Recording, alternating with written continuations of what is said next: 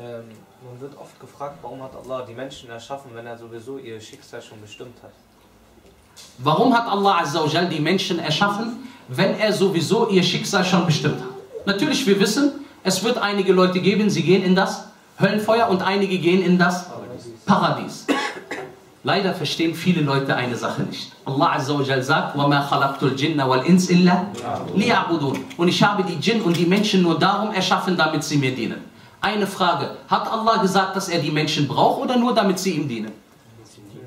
Braucht Allah die Menschen? Hat er das gesagt? Er braucht sie nicht.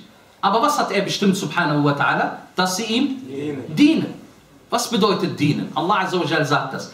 Allahu alladhi khalaqa sab'a samawat wa min al-ardi mithlahun yatanazzalu al-amru bainahun لتعلموا أن الله على كل شيء قدير وأن الله قد أحاط بكل شيء علما Hier in dieser Eier sagt Allah uns, was er von uns will, subhanahu wa ta'ala. Allah ist es, der die sieben Himmel erschaffen hat und unter ihnen dieselbe Anzahl an Erden. Warum? Damit ihr wisst, dass Allah über alles die Macht hat. Was sollen wir wissen über Allah? Dass er über alles die Macht hat und dass sein Wissen alles umfasst. Das will Allah von uns. Dass wir ihn erkennen, einzig und alleine anbeten, nichts außer ihm rufen, subhanahu wa ta'ala, dass wir ihm gehorsam sind, dass wir seinem Gesandten Muhammad sallallahu alaihi wasallam folgen und dann bekommen wir das Paradies oder das Höllenfeuer, je nachdem, wie wir gelebt haben. Aber Allah Azza wa hat uns ja nicht gleich so erschaffen, so nach dem Motto, äh, der kommt sofort ins Paradies, sondern was, was, was beweist, dass wir das Paradies bekommen? Oder was beweist, dass wir das Höllenfeuer bekommen? Unsere Taten.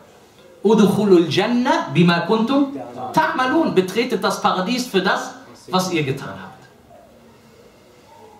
Weil manche wollen das so dahinstellen, oh die armen Menschen, die können ja nichts dafür. Aber können sie was dafür? Allah lässt keinen Kafir in das Höllenfeuer eingehen, außer dass der Kafir zugibt, dass er das Höllenfeuer verdient.